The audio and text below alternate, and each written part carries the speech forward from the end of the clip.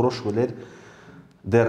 ամիսը ես չեմ կարա հիշեմ հիմա ամռանն էր երևի ամռան սկզբներին որ օգոստոսին էր երևի հա սկս արդեն այդ process-ը սկսվել էր բայց բերեք անկեղծ եղեք բերեք հիմա խոստովանեք որ այո դուք ենթարկվում եք արտաքին ուժերի դուք անում եք մի բան որ չէր կարա օգուտ բերեր քո ազգին քո ժողովրդին Եթե Ադրբեջանի զորքը արդեն Սյունիքով, Գեղարքոնիքով արդեն կանգնած է, մենք չենք կարա խոսանք դրա մասին, որ լուծարված չի։ Բա ի՞նչ հատակ դա։ Ինչ որակավորում տանք այս կարգավիճակին։ Չկա հայ զինվոր ընդ սահմանի կանգնած, չկա հայ ազգաբնակություն ընդ ու ոնց է կոչում Արցախը հայկական։ Ճնշում չկար ըստ էության։ Արայիկ Հարությունյան, Սամվել Շահրամանյան, դուք միասին եք եղել բոլոր ժամանակներում։ Հիմա ես լսում եմ հաղորդագրություններ է գալիս, զանգեր եմ լսում, որ զանգեր են տալիս, լսում եմ, որ ասում են ինչ որ բարձր պաշտոնյաներ մանավանդ հիմնադրամի հետ կապված ուզում են փախնել ինչ որ գործողությունների մեջ են паспорт բան սարքեն ազնագրերի հաշիվները, որ արդ ես կհորդորեի, որպեսզի մեր Հայաստանին ԱԱՑ-ն զբաղվեր այս մարդկանց հարցերով։ Թույլ չտար ոչ մեկին, անկախ նրանից մեղավոր են, անմեղ են, թույլ չտան դուրս գան, Ես ուզում եմ վստահ եմ մեր արտգործնախարարության եւս, որ իրանք ուզում են մեր паспորտների հարցը այն սեղանի շուրջ քննարկեն, այն սեղանի շուրջ դիտարկեն, որ չխանգարի դիվանագիտությանը Արցախի վաղվա օրվա, որովհետեւ այսօր մենք պետք է հաշվի առնենք, որ եթե մենք փակում ենք Արցախի էջը, ժողովրդին տալիս ենք паспորտներ, ես որպես իրավաբան չեմ դիտարկում, ուղղակի իմ պատկերացումները։ Մենք վաղը չենք կարողանալու Արցախի հարցը նայենք, բայց պետք է Արցախի հարցը մնա դեր սեղանին։ Բարև ձեզ հարգելի հայրենակիցներ, այսօր Իրավունք TV-ի տաղավարում հյուրընկալ ենք Արցախյան հասարակական գործիչ իրավաբան Գևորգ Արուստամյանին։ Բարև ձեզ, պարոն Արուստամյան։ Շնորհակալ ենք ձեր գրաֆիկից մեզ ժամանակ տրամադրելու եւ մեր տաղավարում հյուրընկալելու համար, պատրաստակամություն հայտնելու մեր հարցերին անկեղծ եւ པարզ պատասխանելու համար։ Շնորհակալ եմ։ Շնորհակալ եմ հրավերի համար։ Պարոն Արուստամյան, նախ հա ինչ մեր օրերին անդրադառնալը կուզենամ անդրադառնանք, թե իրականում ինչ էր կատարվում Արցախում վերջին մի քանի օրերի ընթացքում, ոչ բռնի տեղահանումը, հաշվի առնելով, որ ոչ օրս էլ հանրության համար շատ հարցեր, այսպես ասած, դեռևս մնում են փակ, գախնի եւ դա ինչ որ կերպ պատճառաբանված է, որովհետեւ Արցախցին ով 10 ամիս շարունակ պայքարել է լիակատար շրջափակման պայմաններում սովին, դիմացել է սովին, հիվանդություններ է հաղթահարել, հա, ինքնուրույն առանց որևէ մեկի օգնության, մի օրվա մեջ որոշեցին, որ պետք է տարհանվեն եւ տեղափոխվեն, այսինքն ընդամենը 1 օր պայքարեցին։ Բոլորի մոտ այդ հարցն է Նախ կուզենամ անդրադառնանք թե ինչ էր կատարվում իրականում ինչ Եվլախ գնալը, ինչ տեղի ունեցավ Եվլախից հետո եւ ի վերջո ինչպես ստացվեց, որ վերջն արդյունքում որոշվեց ընդամենը 1 օրվա ընթացքում հայաթափվի Արցախն ամբողջությամբ։ Շնորհակալություն հարցի համար բովանդակային, բայց ես կուզենայի մեր հանրությունը հասկանա, որ այդ ամեն ինչը, ինչ նույնիսկ որ դուք ներկայացնում եք որպես հանրության համար հուզող մեկ օր պատերազմ, հանրության համար հուզող թե ոնց ստացվեց, որ այդ այդ ամենը սա ծրագրավորව։ Հիմա ես ոնց ասեմ մի օրում ամեն ինչ եղավ 19 սեպտեմբերի, եթե մենք գիտենք, որ ժամանակին մեր parlamento ազգային ժողովը Արցախի արդեն սահմանադրությունում փոփոխություններ ա արել, որ Գարեն ազգային ժողով նախագահ ընտրի։ Սրա մասին մենք մոռանում ենք։ Ու մոռանալով սրա մասին մենք արդեն հանգում ենք սեպտեմբերի 19-ին։ Այ այդ օրը ամեն ինչ որոշվեց։ Չէ, ժողովուրդ որոշվել էր դեռ ամիսը ես չեմ կարա հիշեմ։ Հիմա ամռանն էր երևի, ամռան սկզբներին, որ օգոստոսին էր երևի, հա, սկս արդեն այդ process-ը սկսվել էր։ Ու դրա համար մեր կանխատեսումները, մեր թիմը, որ նստում մտածում հաշվարկում ենք, կանխատեսում ենք, որ այս ամենը կատարվում է հանձնման process-ա գնալու, նույնիսկ մենք երկու տարբերակ ենք քննարկում։ Պասպորտներ կտան ադրբեջանական կամ էլ հանձնվելու ադմ մենք պետք է լքենք ընդ ու երկրորդ տարբերակը ավելի հավանական էր, քանի որ ես ճանաչելով իմ ազգին, իմ արմատներին լավ իմանալով, տեղյակալներով, ես գիտեի, որ չի կարա Արցախցին Ադրբեջանի կազմում ապրի, այլ պետություն, էդի էդի ուրիշ է, ուրիշ մենթալիտետ, ուրիշ հասարակարգ, Դա այնպես որ չի եղել էտի մի օրում ու եւ լախ գնացին եկան եւ լախ էտի սա արդեն նենց ցույց տալու համար ձևական բաներ այն մարդը օրինակ եւ լա գնացող падգամավորից ինչ սпасես ինքը ոնց կարա գնա 25 տարվա սխալները բեկում մտցնի մեկ օրում ընդհանրեն իր հանդիպումից հետո ես տենց եմ հասկացել շրջափակման մեջ ընկած վիրավորների եւ զոհվածների աճուները դուրս բերելու համար էր ու հետո խնդրել էին ժամանակ որ մի հատ հանդարտվեն հետո ու ադրբեջանն էլ իբր ակուրատնի ամեն ինչը տեղը տեղին համաձայնվել է ինչ ադրբեջանը արդեն մեզ գցել էր շրջափակման մեջ շուտվանից 3 տարի առաջ մենք շրջափակման մեջ էինք ու ունդ թելադրում էին ոնց անենք ոչ չանենք մի տեսակ ես չեմ կարամ այդ հարցադրումների շուրջ խոսալ քանի որ հարցադրումները այդ այդ բանն է ընդհանրապես տեսողական ժողովրդի ցույց տալու համար է տենց են ներկայացրել։ Նկատի ունեմ պարոն Արուստամյան, որ այո, գուցե բարձրագույն ղեկավարությունը արդեն գիտեր, թե իրականում ինչ հեռանկար է սպասում Արցախին, բայց հասարակ շարքային քաղաքացու համար դա իսկապես շատ մեծ ողբերգություն էր, որը մինչ օրը շարունակում է եւ չգիտենք թե դեռ ինչքան այդ ողբերգության հետևանքները ինչ արդյունքների կտանեն հա մեր բնակչությանը։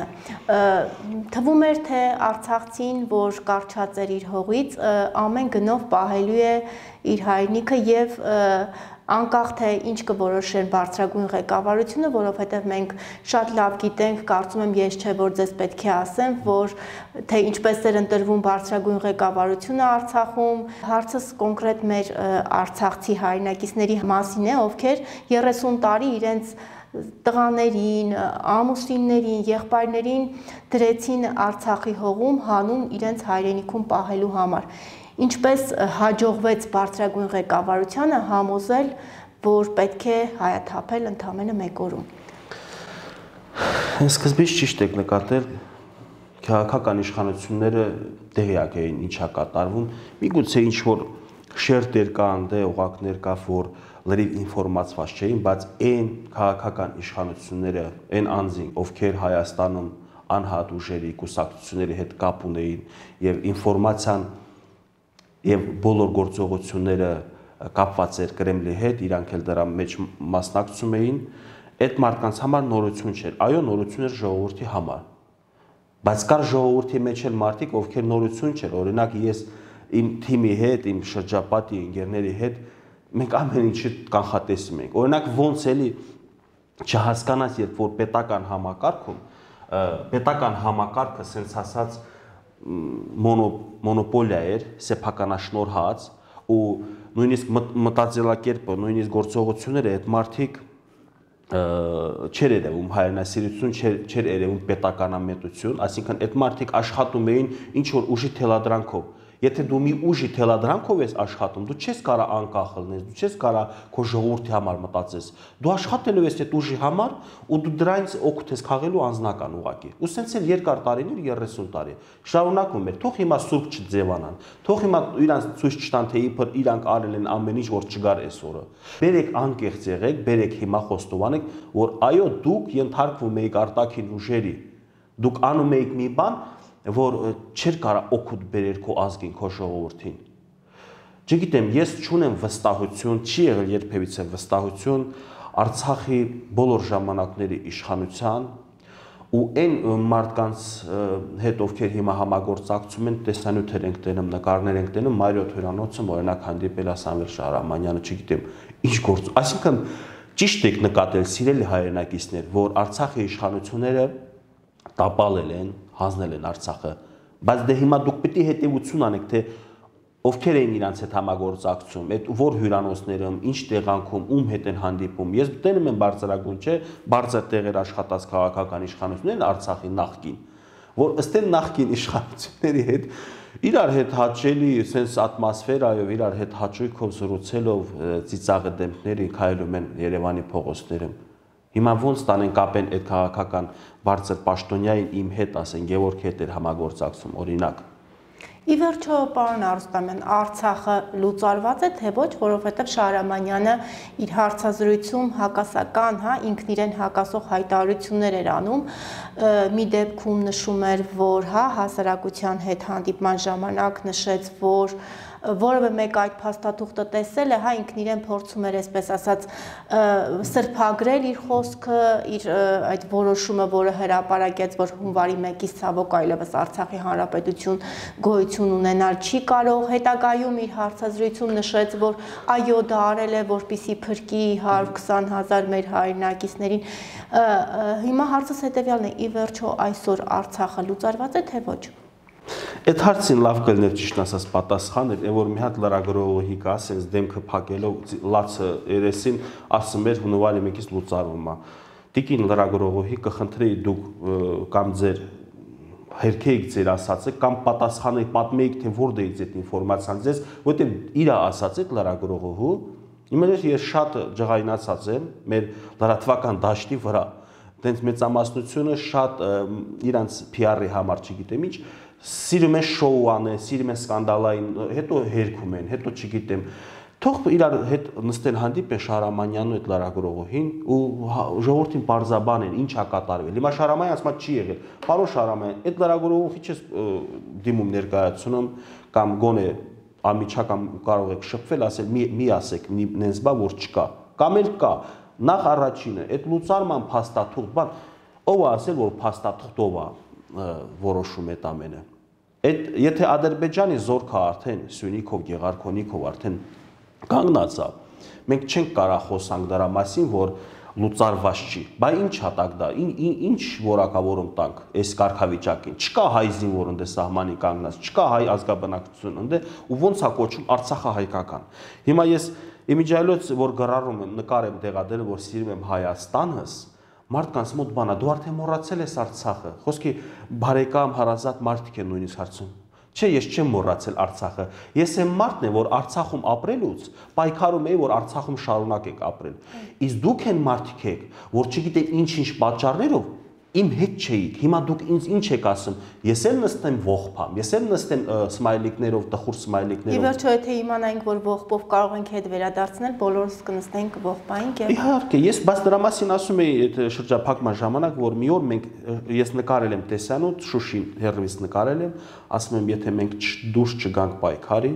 մենք դուրս չվռնդենք քաղաքական իշխանություններին մեր պետական համակարգից, մի օր էլ մենք Ստեփանակերտն ենք հերվից նայելու Ճիշտ է, սարերը խանգարում է Ստեփանակերտին նայենք ուղիղ, բայց հիմա մենք վիդեոներով դե Ստեփանակերտին ենք նայում։ Տեսեք, պարոն Արուստամյան,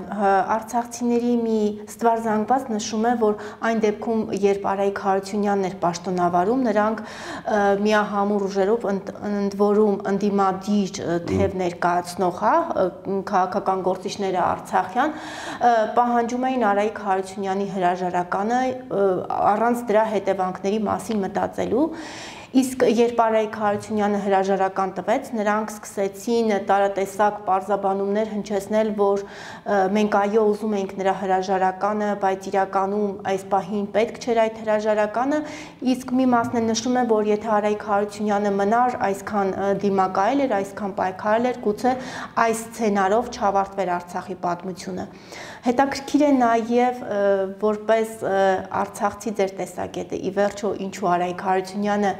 ընդհանրը օրերի ընթացքում հրաժարական տվեց այն դեպքում, երբ ավելի հա ճնշումը, եթե նշում էին, որ պատճառը եղավ, որ հասարակական ճնշումն էր, որ նրան չեն վստահում այլևս հասարակությունը եւ նա այս տաֆետը հանձնում է մեկ այլ տեխնացուի, այդ ճնշումը շատ ավելի մեծ կար,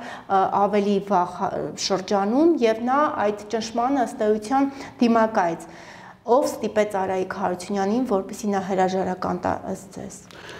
ճիշտ եք վերջում նշել, որ ով ստիպեց, այսինքն ոչ թե ժողովուրդը հասարակություններ ստիպել իր հրաժարականը, այլ մարդիկ էին իրան ստիպել, որ ստիպել, չէ, Արայիկին ինչ ստիպես, Արայիկը կամ մնացած քաղաքական պաշտոնյաները ստիպելով չէ մի բան անում։ Իրանց ասում են, իրանք հելնում են խելոք այդ գործը անում։ Այդ սախ կրկեսա, դա բեմադրված սցենարա։ Իբր թե Արայիկը պալիտա արել ինքը մատնել է Իրան սեպտեմբերի սկզբին էր, չէ՞ մեր տղերքը 3 որ գերի ընկան ֆուտբոլիստ տղերքը։ Ինքը այդ օրը Արայիկ ինչքան էլ ուժեղ բիզնեսմեն ինի, ես մի քիչ չեմ սիրում, էլի մանավանդ մարտկերության մեջ վատ բան չեմ ասում, ուղղակի ես ներկայացնում եմ իր ցիկան։ Ինչքան էլ ուժեղ բիզնեսմենին ինքը չի կարա հոգին այնքան փակ պահի, ինձ համար ամեն դեպքում པարզ էր ինքը այդ օրը մատնեց, որ ժողովուրդ քննարկել ենք ազգային ժողովում արտահերտ նիստա գումարվել գիշերը միջև ես միջև առավոտվա 4-ը ընդ սպասում ենք դուրս գան պատասխանեն մեր վաղվա օրը ինչ են պատրաստվում անել, բացի գերիների ճակատագրից մենք Արցախի ճակատագրի համարել էինք ընդ անհանգստանում ինչ ալնելու։ Դուրս ա եկել ոչ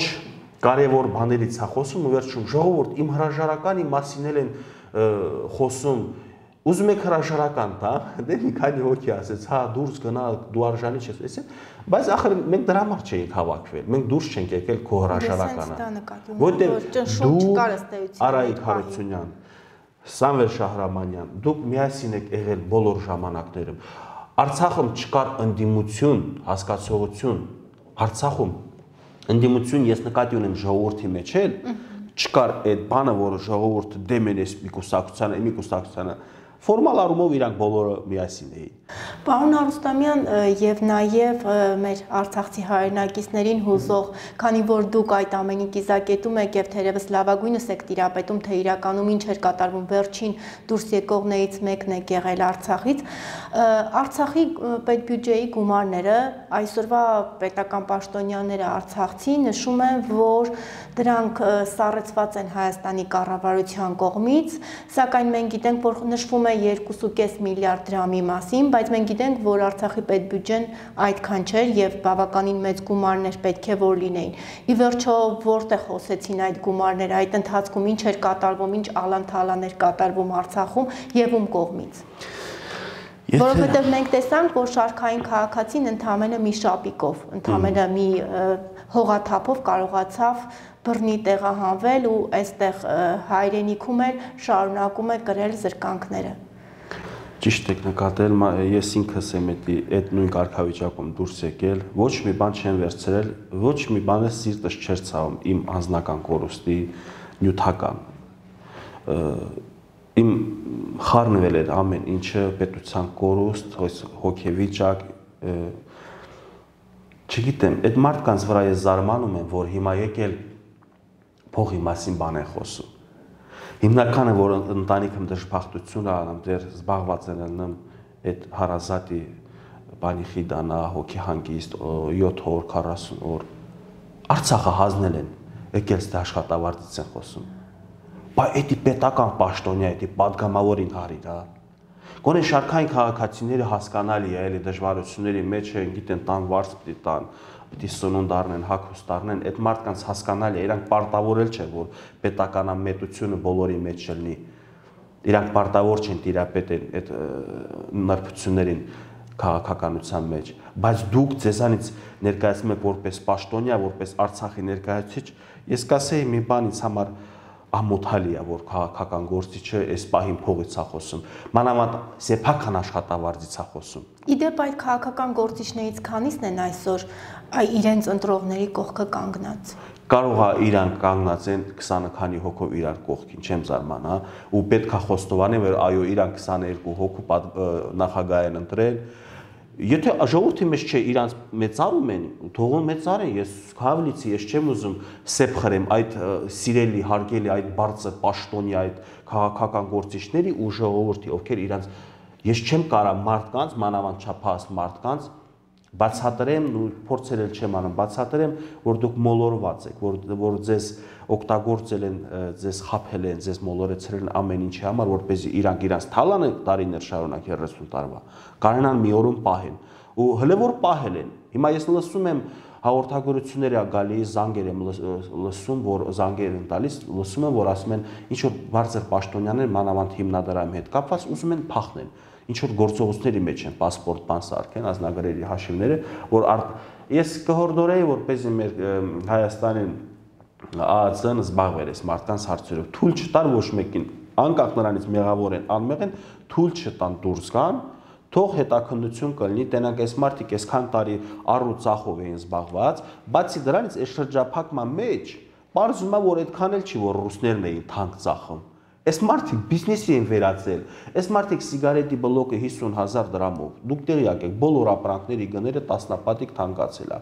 Ու parzum այս մարդիկ ունեին պահեստներն պահած նմանատիպ նյութական սնունդ, չգիտեմ, տնտեսակ ամեն ինչով համալրված էր ու ժողովրդին հանում էին աճու բանի խանութներում ծախում ժողովրդին այս գներով։ Բենզինի պահների միջայլոց ես ամեն օր մի հատ փոքրիկ նորություն եմ լսում, որ սեպտեմբերի 25-ին չէ պայթունը տեղի ունեցավ։ Սեպտեմբերի 21-ից մինչև 24-ը 25-ը, այսինքն այդ 5 օրվա ընթացքում բարձր պաշտոնյաները բավականին բենզին արդեն վերցրել էին։ Այդ նույն պահեստից կարող է էսի հաստատված նորություն չի, էսի վարկածա։ Ասեկոսների։ Ասեկոսությունների, ասեկոսությունների հա հետևանքա իրանց լսելով քաղաքական բարձր պաշտոնյաները 100 լիտրով, 50 լիտրով ինչքան բակը իրաց տեղավորում է, բերել լցրել են, 100 լիտր բերել են, դա երևի մեկն էլ ձև չուներ գնալու իրան հետակիսել,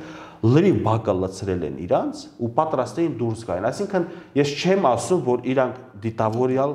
ուզեցել են որ այդ պայթունը ըլնի, բայց իրանք հասկանալով որ ժողովուրդ իրանք գործերը բրծել են ու հասկանալով որ ժողովրդի մեջ այդ հոգեվիճակը պատերազմից հետո այդ կորուստները, այդ լարվածությունը, քաոսը չի կարող անդե կարգու կանոն լինի բենզինի մոտ։ Իր բենզին ինքը հրավտանք բոլոր տեղերն էլ գրած է, հրավտանք է, պետքա ուշադրություն ու ժողովուրդն էլ կարող է ինչ որ մեկն էլ նույնիսկ լուցկինա թափ տվել, գցել, մեկը սիգարետնա կպցրել, ասում են բենզինը վեդրով, ես ընդ չեմ եղել։ Վեդրով լուսնում են սա ծով էր դարձել արդեն բենզինը ընդ հողի վրա։ Այս ամփոփության համար ով պիտի պատասխան տա։ Մեր նախկին Արցախի նախագահ, ոնց կոչեն, Սամվել Շահրամանյանը ասում է քնչական կոմիտեն զբաղվում է։ Քնչական կոմիտեն, ես չգիտեմ, որ քնչական կոմիտեն, Ադրբեջանի թե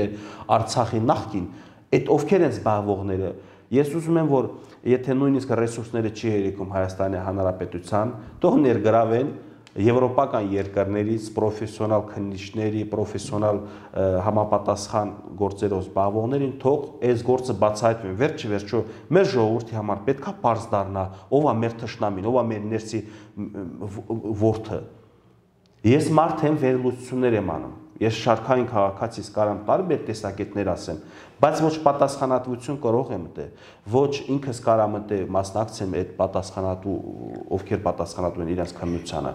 բայց ես ուզում եմ բացահայտել, ուզում եմ ժողովրդիս համար հայտնի դառնա ովքեր էին այս ամենի հետևը կանգնած, ովքեր էին պատասխանատուները։ Պարոն Արստամյան, կուզենամ նաև ձեր տեսակետը, ձեր մեկնաբանությունը Արցախցի մեր հայրենակիցների անznագրերի վերաբերյալ մենք տեսանք, որ ներքին գործերի փոխնախարարը նշեց, որ այն անznագրերը, որոնք կրում են մեր արցախցի հայրենակիցները, ընդհանրապես ճամփորդական փաստաթղթեր են եւ ոչ անձը հաստատող փաստաթուղթ եւ անձը հաստատող փաստաթուղթ ստանալու համար պետք է դիմեն կոնկրետ հա իրենց տարածքում գտնվող անznագրային բաժանմունքներ եւ ստանան փաստացի գրանցում, որին որին կհաջորդի անznագրի ստացումը, հա ի վերջո ձեզ հա, ձեր անznագրերը, հա, Արցախում բնակվող մեր հայրենակիցների անznագրերը առաջին հայացքից կարծես թե որևէ բանով չեն տարբերվում Հայաստանի Հանրապետության քաղաքացիների անznագրերից։ Դուք որևէ տարբերություն տեսել եք եւ երբևէ, երբ որ դուք ստացել եք անznագրեր, ձեզ որևէ մեկը ասել է, որ դա անձը հաստատող փաստաթուղթ չէ, այլ ընդհանրապես ճամփորդական փաստաթուղթ եւ որ տրվում է ձեզ դա բացառապես որպես ճամփորդական փաստաթուղթ չեմ զգացել, չի եղել, բարձա մեր паспորտը նույնն անդեմի կոդ է դե տարբերում 070 կոդով մենք տարբերում ենք, չէ՞։ Հայաստանի քաղաքացիներից մնացած, բայց այս հարցը մենք պետքա զուգահեռ դիտարկենք Արցախի հարցի հետ, քանի որ եթե այսօր մենք խոսում ենք մեր паспորտը մեզ տվեք, ոնց ձեռնա կամ հակառակը մի տվեք, մնանք պետք է մենք հաշվի առնենք, որ Արցախը ինքը որպես պետություն էր ճիշտ ճանաչված աշխարհի կողմից, բայց Հայաստանի Հանրապետությունն էլ բոլոր ժամանակներն փորձել է Արցախի անկախությանը հասնի, փորձել է, չգիտեմ, անվտանգությունը պահպանել։ Դրա համար այս բանը նույնիսկ ես այդքան էական չեմ համարում, թե իմ паспորտը վաղը պետք է փոխեմ։ Ինքը ես ուզում եմ վստահեմ մեր արտգործ նախարարության եւս, որ իրանք ուզում են մեր паспորտների հարցը այն սեղանի շուրջ քննարկեն, այն սեղանի շուրջ դիտարկեն, որ չխանգարի դիվանագիտությանը Արցախի վաղվա օրվա, որովհետև այսօր մենք պետք է հաշվի առնենք, որ եթե մենք փակում ենք Արցախի էջը, ժողովրդին տալիս ենք паспորտներ, ես որպես իրավաբան չեմ դիտարկում, ուղղակի իմ պատկերացումները։ Մենք վաղը չենք կարողանալու Արցախի հարցը նայենք, բայց պետք է Արցախի հարցը մնա դեր սեղանին։ Թող աշխարհը արդեն գրանցել, արդեն ֆիքսել են, որ արտագաղթ է եղել 100%-անոց, էթնիկ զտում է եղել։ Ու էսի որպես փաստ մեր ձեռը որպես փաստ պետքա օգտագործենք։ Դրա համար, հա, դրա համար այսօր դիտարկել պետքա паспортների հարցը, Արցախի այո իհարկե այլ կերպ չեմ պատկերացնում թե չէ ինձ համար էական չի թող իմ паспортը մնա նույնը կամ փոխեն կարևորը արցախի հարցը չփակվի արցախի հարցը պետքա անընդհատ սրա մասին խոսել Եվ ամփոփելով մեր զրույցը պարոն Արուստամյան, մենք մեկ անգամ առիթ ունեցել ենք արդեն ձեզ հետ զրուցելու, կուզենամ մեր զրույցը ամփոփենք ձեր ապրումներով հատկապես որ մոտենում է նոյեմբերի 9-ը եւ մենք տեղեկանում ենք ադրբեջանական լրատվամիջոցներից, որ նոյեմբերի 9-ին Ստեփանակերտում Արցախի մայրաքաղաքում տեղի է ունենալու մեծ զորահանդես եւ դա ներկայացվելու է որպես Ադրբեջանի հերթական հաղթանակը։ Ինչ ապրումներ ունի այսօր Արցախցին իդեմս ձեզ եւ ինչ եք զգում ամեն անգամ տեսնելով այդ ադրբեջանական լրատվամիջոցներում տեղ գտած կադրերը։ Այս աշխատում եմ թերթեմ այդ կադրերը չնայեմ, բարձա որ իրանք պետքա ողջավորություն ապրեն, իրանք պետքա ուրախ լինեն իմ դժբախտության, իմ ժողովրդի, իմ հայրենակիցների դժբախտության վրա։ Հոգեհապրումներս ես աշխատում եմ ճիշտ ասած կոշտ ու կոպիտ ներկայացնել հանրությանը, իբր թե իմ մոտ սա նորմալ է, բայց իրականում տենց չի։ Իմ սիրտը շատ ացավում։ Այս օրերին որ ասեմ չեմ սпасել, որ չի լինելու սուտ կլինի, եթե մարդ մի քիչ իրականությանը ուղ աչքերով ա նայում, բարձա վաղվա օրոտ ինչ պետք է լինի։ Եթե դու այսօր չես չես ջրում ծառը, դու բերք չես հավաքելու կամ թե եթե ճիշտ չես դու խնամք տանում, վաղը դու ոչ առողջ պտուղներ պետք է հավաքես։ Մենք ոչ առողջ պտուղներ հավաքեցինք երկար տարիներ, ու մենք լրիվ ծառը այդ նույն ծառը որ պետքա մեզ բերք տար կամ այդ տունը որ պետքա մենք շենացնեինք մեր մենք այդ տանը ապրենք այդ տունը փլուզվեց ինչի որովհետև ճիշտ աշխատանքներ չէինք տարել դրա համար եթե ես անընդհատ սկսեմ հետևելով նորությունների, տեսնելով տեսանյութեր ադրբեջանցիների կողմից հրապարակված, սա միայն իմ առողջությանը վնաս կտա, այնինչ այդքան էլ առողջություն չունենք ճիշտ ասած, զուտ պետության, մեր երկրի վերաբերվող ժողովրդի վիճակին վերաբերվող հարցերը անընդհատ խորանալու, անընդհատ փորձելու ինչ որ պատասխաններ գտնել, լուծումներ գտնել, ընդհանրապես մեր առողջությունն է քայքայում։ Ուզում եմ մեր ժողովուրդը իմանա, որ հարցը փակված չի ու չփորձեն ասեն վայ Արցախը բրծածա բերենք տանկ իրար ջարդենք փշրենք սրանով օգուտ չենք վերցնի մեր հասարակության մեջ պետքա սերություն մցվի համերաշխություն որպեսզի վաղը այդ էներգիան դրական էներգիան օգտագործենք զորնադոհոլով նորից Արցախը հետ բերելու համար։ Եթե մենք չենք շարժվելու այս մտածելակերպով, եթե մենք մեր ազգի մեջ պարակտելու ենք այս ինչական, այն ինչական, ինձ էլ են մեկ-մեկ իմ խոսքը վերցնում են վերաբերող պետության, կապում իշխանության հետ ախր իմ խոսքը պետությանն էլ վերաբերվում ու այս պահին եթե այս խոսքը գնում է ինչ որ տեղերով էլ կապնում իշխանությանը դա չի նշանակում ես որ այդ իշխանությունից կարճացեմ կամ իշ ուզում եմ իշխանությունը կարճի աթորին իշխանությունը ժամանակավոր է իրանք էլ են գնալու բայց պետությունը հավերժ պետքա մենք պայենք պետքա մենք պատկերացնենք 300 տարի ոչ թե 3 տարուց հետո ինչ կլինի սյունիկ կմտնեն հեսա Իսկ դուրս չգալ էս էս բանը որ մարդիկ քննարկում են, էսա սյունիք հա մտնում, էսա միտք եք տալիս թուրքերին։ Ինչի եք տես բաներ ասում։ Ձեր մեջ դուք արդեն պատրաստվում եք Արցախը ոնց հանձնել եք սյունիքն էլ հազար։ Սյունիքը իր տեղում պետքա լինի Հայաստանի սահմանները պետքա անհարրիկ լինեն, դրա համար պետքա աշխատանք, պետքա համերաշխություն, սեր, որպեսզի պահպանենք։ Չգիտեմ, լրիվությամբ հարցին պատասխանեցի։ Խոսքը որ էմոցիայի մասին է, ես աշխատում եմ խուսափեմ, բայց լավ է երկար պատասխանեցի։ Շատ շնորհակալ եմ պարոն Արուստամյան, շնորհակալ եմ իսկապես պետականամետ եւ մաքսիմալ པարս ու անկեղծ զրույցի համար։ Շնորհակալ եմ ձեզ ուժ ու կորով, որ այս դժվարին ժամանակներում չեք կորցնում ձեր մարդկային տեսակը եւ շարունակում եք լավատեսորեն ապրել, արարել,